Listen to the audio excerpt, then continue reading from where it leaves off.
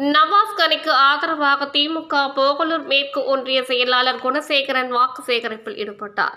ராமநாதபுரம் நாடாளுமன்ற தொகுதியில் திமுக கூட்டணி சார்பில் போட்டியிடும் நவாஸ் கனிக்கு ஆதரவாக திமுக போகலூர் மேற்கு ஒன்றிய செயலாளர் குணசேகரன் ஏணி சின்னத்தில் வாக்களிக்குமாறு பொட்டி தட்டி எம்எஸ் நகர் மந்தி வலசை.